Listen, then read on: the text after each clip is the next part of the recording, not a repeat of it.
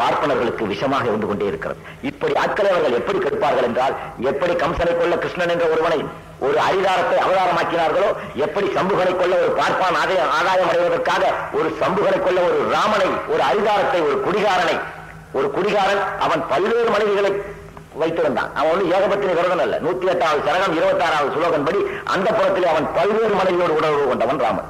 நீ யார் வேண்டாலும் தான் ஒரிஜினல் ராமாயணம் நீ கண்ணிலே பார்த்துக்க மாட்டேன். எங்கிட்ட இருக்கு எங்கிட்ட இருக்குது? அது. அதனுடைய டைரக்ட் ஜெராக்ஸ் எங்கிட்ட இருக்கு? அப்ரூவ்டு ராமாயணம். வேற எவன் எவனும் வாங்கல. எனக்கு பதினையாயிரம் ரூபாய் எவன் கொடுத்து வாங்கி வைப்பான்?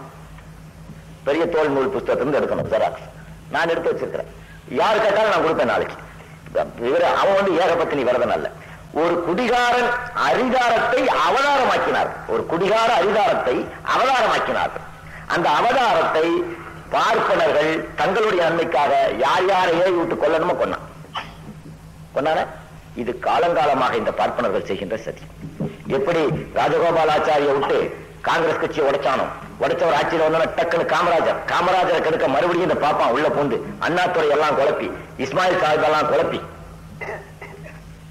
மூக்கியா தேவரை எல்லாம் குழப்பி ஒரு கூட்டம் உண்டு பண்ணி என்ன பண்ணா காமராஜரோட ஆட்சியை தூள் தூளா உடைச்சான் ஒரு பாப்பான் நினைப்பு இருக்குங்களா ப்ரொஃபசர் அறுபத்தி ஏழுல அதுக்கு முன்னாடி எப்படி இன்று வன்னிய மக்களுக்கு டாக்டர் ராம்தாஸ் இருக்கிறாரோ இதை போல் நூறு மடங்கு அதிகமாக இருந்தவர் யார் என்றால் பசும்பொன் முத்துராமலிங்க தேவர். தூய்மையான ஒரு அரசியல்வாதி.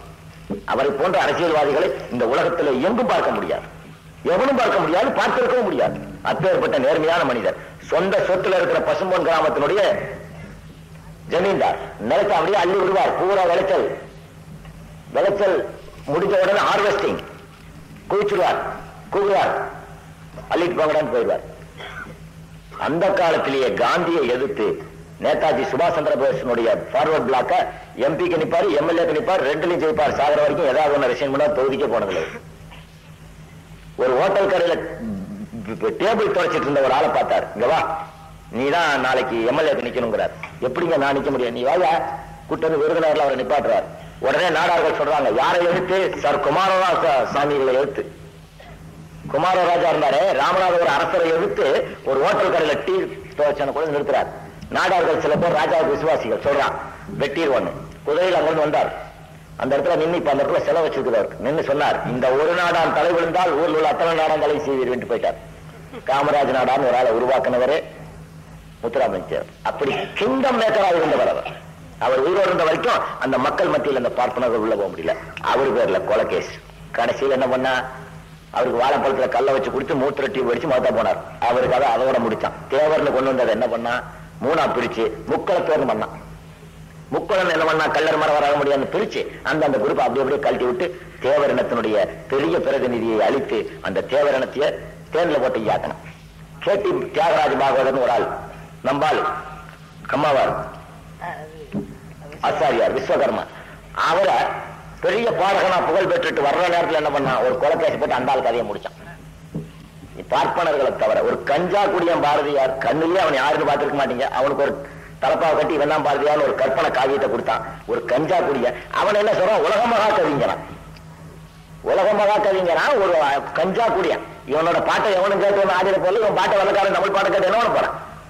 ஃபுல்லா நடந்துக்கிட்டு இவன் பாட்டுதான் சுதந்திர தாகத்தை மூடிச்சுட்டான் இவன் பாட்டு தமிழ்ல பாடினா அப்புறம் வெங்காயத்துல அப்புறம் மூடிச்சு. ஒரு உலகமாக வங்காளத்துல இருந்து மூடிச்சு. தமிழ வரையும் அவனுக்கு. ஃபுல்லா. கேட்டி தியாகராஜ் தியாகராஜ பாகவதர் கொன்னான் அப்புறம் என் எஸ் கிருஷ்ணன் அவர் பேர்லயும் கொலை தான். என் எஸ் கிருஷ்ணன் இப்படி புகழ் யாரெல்லாம் பெற்றுட்டு வந்தாங்களோ அவங்களுக்கு ஒரு ஆளை வச்சு ஏதாவது ஒண்ணு பண்ணி அவங்களுக்கு கொலை விட்டுரும் ஒண்ணு கொலை செய்வான் இல்லைன்னா கொலை போடுவான் இல்லைன்னா அவங்க கதையை முடிச்சிருவான். அவங்க புகழுக்கு இழுக்க தேட அந்த இனத்திலேயே ஒருத்தனை பிடிப்பான். இது இயற்கை மரபு. எப்படி ராவணன் என்ற ஒரு மாபெரும் நிலவரஞ்சி பாண்டியனை கொள்வதற்காக அவனோட தம்பியிலே ஒருத்தனை பிரிச்சானோ வாலிங்கிற ஒரு பெரிய நேர்மையுள்ள அரசனை கொள்ள அவனோட தம்பியிலே சுக்ரீவனை பிடிச்சானோ வாலி என்ன தப்பு சுக்ரீவன் வாலி இதுல வாலி வதத்தை எடுத்து பார்த்தால் வாலியும் சுக்ரீவனும் போய்கொண்டிருக்கிறார்கள் ஒரு அசுரன் வந்து அவர்களை தாக்குகிறான். அடடே இவனை விட்டா தப்புன்னு தம்பி நீ நில்லு அவனோட மல்யுத்தம் பண்றான். இவன் உள்ள போறான். அவன் போய் ஒரு புகக்குள்ள உட்காந்துக்கிறான் இவன் சொல்றான் தம்பி எளியோ நீ. நீ எளிய நான் வலியோ. அவனோட நீ மோதக்கூடாது. நீ வெளியே உட்காரு தம்பின்னு அண்ணங்காரன் எவ்வளவு பந்தபாசமா இருந்திருக்கான் பாப்பா உள்ள காட்டுக்குள்ள வைக்கிறதுக்கு முன்னாடி. பாப்பான் காலை காட்டுக்குள்ள வைக்கிறதுக்கு முன்னாடி அந்த அண்ணன் தம்பி பாசத்தோட இருந்திருக்கிறான். தம்பி நீ எளியோ நீ வெளியே நில் அவனு உள்ள போறான். போய் அந்த கதிக்குள்ள சண்டை போட்டு இருக்கும்போது ரத்த வெளியே வருது. வெளியே நின்ன தம்பி என்ன நினைக்கிறான்? நம்ம அண்ணனை தான் போட்டு தள்ளிட்டாங்களே மட்டும் நேரா போய் கிஷ்கிந்தைக்கு போய் அண்ணன் முண்டாச்சு தான் புடிங்கிட்டு அண்ணன் புள்ளி அடிச்சு துரத்திட்டு இவனே ராஜாவாயிட்டான் ஒத்துக்குவியா ஐயா நீ? ஒத்துக்குவியா? ராமனுக்கு மட்டும் தன் தம்பி இல்ல பரதன் அந்த இடத்த ஆளக்கூடாது செருப்பை கொடுத்துக்கிட்டு வச்சு சேஃப்கார்ட் பண்ணிக்கிட்டேன். வாலிக்கு சேர வேண்டியதை சுக்கிரகம் பிடிச்சாலே நீ என்ன பண்ணிருக்கணும்? ஒரு சாமி நியாயமான சாமி ரெண்டு வேலையும் கூப்பிட்டு நாலு கணக்கு விட்டு அண்ணன் ஒத்துமையா போடான்னு இருக்கணும். எனக்கு உதவலான்னு பரவாயில்ல. அதுதான் நேர்மையான மனிதன். உடனே வாலி வெளியே வந்து பார்த்தா தம்பியை காணும். ஓஹோ நேரா கிஷ்கந்தைக்கு போனா என்னடா நம்ம கொண்டாடி புடிஞ்சு வச்சுக்கிட்டு நம்ம பிள்ளைய காட்டுல துரத்திட்டு நேரா போனான் போய் பார்த்தா அங்க சுக்ரீவன் அரசனாகவும் அவனோட ஃப்ரெண்டு யாரு? இந்த குரங்கு போய் அனுமான். அவன் பிரதம மந்திரி. ரெண்டு வயலையும் நாலு அரைச்சு விட்டு போரா காட்டுக்கிட்டான். அவனோட தான் இவன் கூட்டு அவனை வச்சு வாலிங்கிற நேர்மையான அரசனை கொண்டான் ஆக ஒரு இனத்தில் செல்வாக்கு பெற்ற தலைவர்களை இந்த பார்ப்பனர்கள் சரித்திர காலத்திலும் சரி சமீப காலத்திலும் சரி ஒரே விதமான தந்திரத்தை தான் கடைபிடித்திருக்கிறார்கள். அது மாதிரி தான் நம்ம டாக்டர் எதுக்க இந்த செல்வ கணபதி வாழப்பாடி ராமமூர்த்தி இந்த அவன் அந்த அன்பரசு எல்லா எச்ச விலைக்கை பொறுக்கி திங்கிற நாய்களா புடிச்சு அவனெல்லாம் ஸ்டேட்மெண்ட் ஒரு இனத்துல எப்படி அழிக்கிறான் பாரு. அஹ், அதனாலதான் நாங்க வந்து முஸ்லிம்கள் நாயே வளர்த்த மாட்டோம். தெரியுமா புரோசன் நாங்க நாயே வளர்த்த மாட்டோம். ஏன்னா எந்த முஸ்லீம் வீட்டுல பாரு நாய் குலைக்காது. முஸ்லீம் தெருவிலே போய் பாரு நாய் குலைக்காது. நாங்க நாயை வைக்க மாட்டோம். நாய்க்கு நன்றி இருக்கும். இன்னொரு ஆகாத குணம் அதுக்கு இருக்கு. என்ன தெரியுமா? அதுக்கு சோற போடு நாய்க்கு. திங்கம். மிச்சம் வச்சிடும் பாதி தின்னுட்டு படுத்துரும். ரெண்டு தலை கை காலை விட வச்சு தலையில வச்சு மும்முன்னு பார்த்துக்கிட்டே இருக்கும். ஒரு குருவி வரும் கொத்திட்டு இருக்கிறது அப்படியே கண்ணை வரைச்சுக்கிட்டு பார்க்கும். ஒரு பூனை திங்கிறதையும் பார்க்கும். வேற ஒரு கோழி கொத்துறதையும் பார்க்கும். ஒரு குருவி கொத்துறதையும் பார்க்கும். தன் இனம் அல்லாத எந்த இனம் வந்து தின்னாலும் பார்க்கும். அதே நேரம் ஒரு கால் கிலோமீட்டர் கம்பிட்டு இன்னொரு நாயை பார்த்துருச்சுன்னா போதும். தான் இனத்தை சாப்பிட விடாது இனத்துரோகி என்று பெயர். அந்த இனத்துரோக புத்தி இருப்பதால் தான் முஸ்லிம்கள் வீட்டுல நாய் வச்சுக்க மாட்டாங்க. இந்த வாழப்பாடிகள் செல்வ கணபதிகள் அன்பரசுகள் போன்றவர்கள் எல்லாம் இனத்துரோகிகள். அவங்க அம்மா வன்னியனுக்கு பெற்றாளா என்பது சந்தேகத்துக்குரிய சாவுகள். கிட்டத்தட்ட இருபத்தி நாலு வன்னிய சகோதரிகள் தாலி இருந்து நூத்தி நாற்பத்தி நாலு எண்பத்தி நாலு ஜாதிகளுக்கு இடம் வாங்கி கொடுத்து விட்டு அவர்கள் விதவைகளாக இருக்கிறார்கள். அவர்களுக்கு அள இந்த நாய்கள் எவ்வளோ இத்தாலிக்காரி தாலி எடுத்தவுடன் இவன் வீட்டிலேயே இளவு இந்த மாதிரி மாறல அடிச்சான். அப்ப இவன்லாம் யார் யாருக்கோ பிறந்திருந்தானா? எவன் எவனுக்கோ?